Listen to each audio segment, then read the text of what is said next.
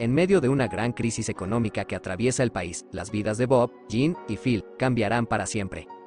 Bob llega animado a la empresa en la que trabajaba, solo para recibir la noticia de que estaban haciendo recorte de personal, y él es despedido junto a varios empleados.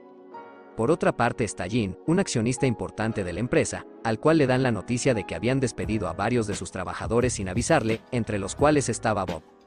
Mientras tanto Phil, que también ocupaba un puesto importante en la empresa, tiene miedo de que lo despidan al igual que los demás. Bob llega a su casa a preparar el almuerzo, y esto le parece extraño a su esposa Maggie. Así que este le confiesa que fue despedido de su trabajo, pero le dice que no se preocupe porque pronto conseguirá otro. Phil llega a su casa, y vemos que su hija y su esposa les gustan los lujos, y le piden dinero constantemente. Por parte de Jean, este ya no se llevaba bien con su esposa, y casi no hablaba con ella. Bob debe ir a un centro de reubicación laboral, pero le parecen ridículas las charlas motivacionales que dan en el lugar. De manera prepotente le dice a sus compañeros que no estará mucho tiempo allí, porque seguro conseguirá trabajo pronto. Jean se reúne con Bob para explicarle que a pesar de que era su jefe, él no ordenó que lo despidieran, pero debido a la crisis económica no puede contratarlo de nuevo. En casa, Maggie está haciendo presupuesto para empezar a ahorrar dinero, pero Bob le dice que eso no es necesario, ya que pronto encontraría un trabajo igual o mejor que el que tenía. Phil se da cuenta de que ya habían despedido a todos los trabajadores de su sección y presiente que será el siguiente. Bob va a una entrevista de trabajo, pero al escuchar el sueldo que le van a pagar, le parece muy poco e insulta a la entrevistadora. Pasado un tiempo sigue buscando empleo y se empieza a dar cuenta de que no es tan fácil como pensaba. En una cena familiar, todos se terminan enterando que Bob está desempleado así que su cuñado Jack, que trabaja en construcción, le ofrece un empleo mientras logra recuperarse, pero esto le parece un insulto a Bob. Mientras tanto en la empresa, Jean hace lo posible por salvar algunos empleos, pero el accionista mayor ordena más despidos para ahorrarse costos. Maggie le ofrece a Bob la opción de vender la casa e irse a vivir con sus padres, pero este no quiere llegar a ese punto. Pero todo cambia cuando al pasar tres meses, ya no tienen dinero para solventar los gastos.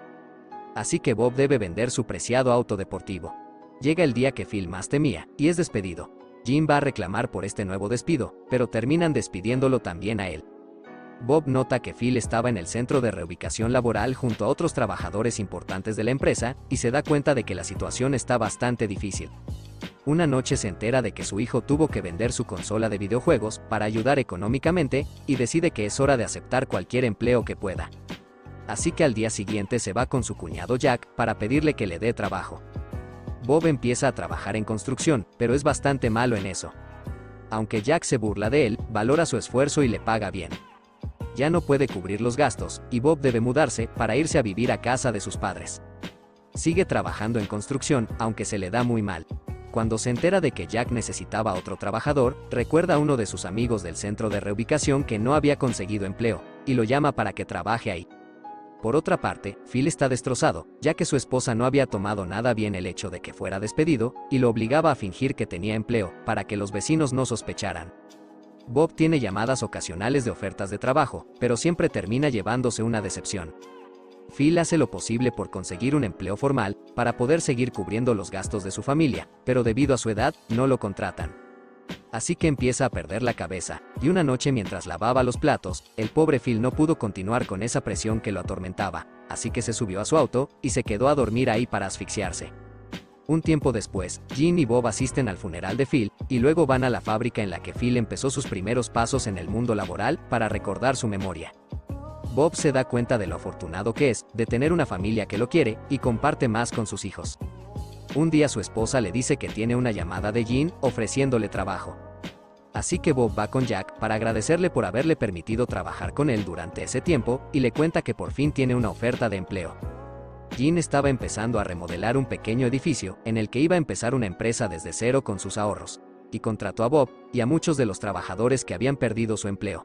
Y a pesar de que el sueldo era menor y la empresa era pequeña, todos estaban felices y entusiasmados por comenzar a trabajar en lo que mejor saben hacer. Y así acaba esta historia. Coméntame qué te pareció.